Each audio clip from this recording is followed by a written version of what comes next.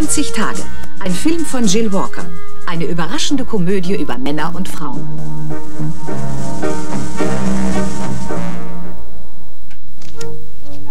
Kirschblüten. Tja, Alex, was machst du da? ich fand das irgendwie interessant. Ich meine, wieso hast du denn... Das ist mein Schreibtisch, also lass das. Was soll das? Was hast du? Das geht dir nichts an. Jeder von uns hat sein Geheimnis. Blues Geheimnis heißt Yang Suk. Seit sechs Monaten hat er sich auf diesen großen Tag vorbereitet. Hier sind deine verdammten Klamotten. Shelley! Auch Alex Rossi hat sein Geheimnis. Oder eher ein Problem. Nicht doch! Der Sack ist 800 Dollar wert. Tu's nicht!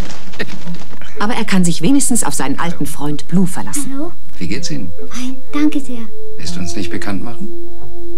Also, sie ist eine Versandhausbraut. Nein, sie ist keine Versandhausbraut. Du hast viele Haare. Yang Suk hat ein Visum für 90 Tage. 90 Tage, um zu heiraten. Sonst muss sie wieder nach Hause. Haben koreanische Männer nicht so viele Haare? Alex hat sich in eine mysteriöse Unbekannte verliebt. Aber was sie von ihm will, verschlägt ihm die Sprache. Also mein Vorschlag ist, dass, dass Sie den Samen spenden und wir Ihnen 10.000 Dollar geben.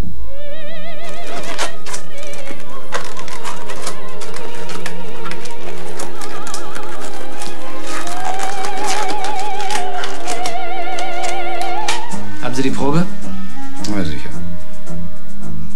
Ist das alles? Was haben Sie erwartet? Die Niagara-Fälle? Was haben Sie für Pläne? Wann tun Sie es? Was denn tun? Heiraten. Schon bald, vielleicht in zwei Wochen. Nun, nicht, äh, nicht in zwei Wochen, aber... Okay, dann. Okay, dann schlafen wir zusammen, okay? Wir werden zusammen schlafen. Nein, so möchte ich das auch nicht. Nur weil ich mir darüber Sorgen mache, sollst du nicht sagen, okay, wir schlafen zusammen. Ich möchte, dass dir klar ist, dass es wichtig ist, dass wir zusammen schlafen. 90 Tage. Ein Film von Jill Walker. Eine überraschende Komödie über Männer und Frauen.